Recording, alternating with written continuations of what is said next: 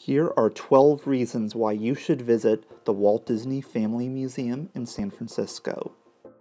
One of the most incredible components of the museum is this idealized model of Disneyland, depicting many of the beloved attractions of past and present. You'll want to spend hours just looking at each detail. Fun features exist all over the place, from games and audio recordings to many touchscreens with hundreds of images to explore. Amazing artifacts occupy every bit of space at the Walt Disney Family Museum, from this original multi-plane camera to this model of Walt Disney's Carousel of Progress. And even decades-old ink and paint. Get ready to open your wallet because you'll want to purchase everything you see here, including books, souvenirs, and seasonal merchandise. The facility fascinatingly explores Walt Disney's original vision for Epcot, courtesy of great information, photographs, and even video that portrayed the experimental prototype community of tomorrow. Of course, that dream was not fully realized as Walt Disney had an untimely passing.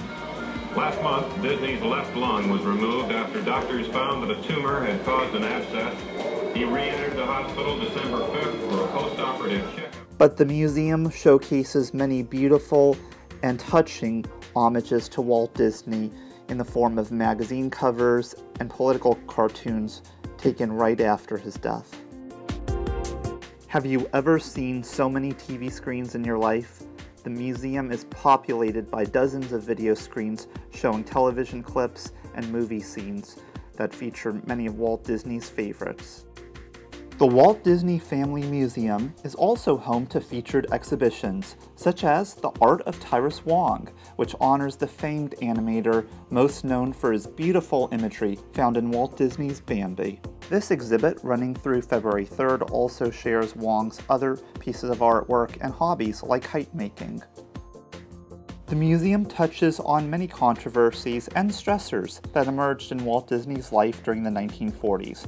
Among the most notable troubles included animators who went on strike, impacting the company's output of features, communist allegations, and criticism of wartime shorts, such as Der Fuehrer's face. And who can forget that Walt Disney lied about his age to be enlisted in World War I? That too is covered but Walt Disney is more often known for having garnered literally hundreds of awards, many of them on display here at the museum. Truly, there are fun finds everywhere here at the museum, from Walt and Lillian discovering Disney Street in London, to miniatures of classic characters, and menus, furniture, vintage electronics, and Mickey Mouse memorabilia. Most of all, though, this place honors Walt the man, the individual who inspired so much of our culture in the 20th century and beyond, whether it be via classic films like Mary Poppins and 20,000 Leagues Under the Sea, to nature specials like the True Life Adventure series. Walt was also very influential when it came to audio animatronics and new technology like Circle Vision, and even classic animation.